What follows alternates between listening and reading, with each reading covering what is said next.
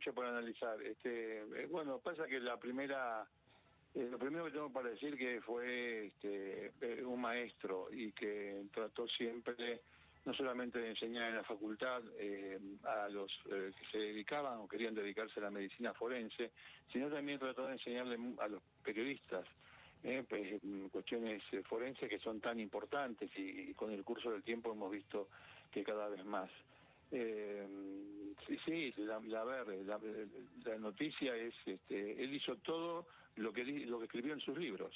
Eh, o sea, es, es como eh, un procedimiento de manual.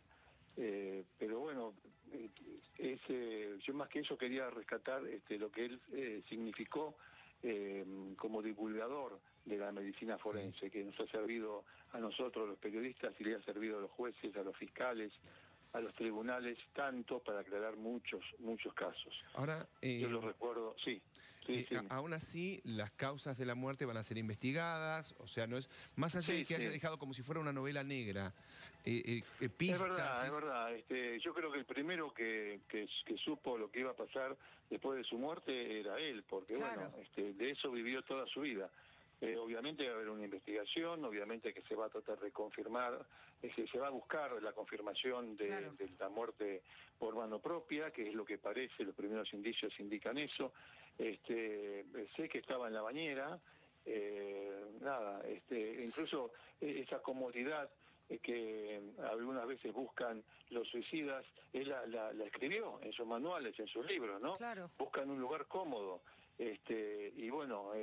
Fijate, ¿no? Que no, no, lo que te decía antes, cumplió con lo que él enseñaba. Él enseñaba. Acá este, tengo el parte, Ricardo, de la comisaría de San Martín, que dicen, ampliando el informe de la fecha, se estableció que la víctima, Rafo, dejó en la mesa de la cocina una nota firmada diciendo que no soportaba más los dolores. El arma utilizada para quitarse la vida fue un revólver, ah. presumiblemente calibre 38, ah. vivía solo, fue encontrado por su cuidadora, Silvia Jaquibiek, eh, que no trabaja los domingos. Por eso él optó por quitarse la vida justamente un domingo. Al llegarlo halló la situación mencionada.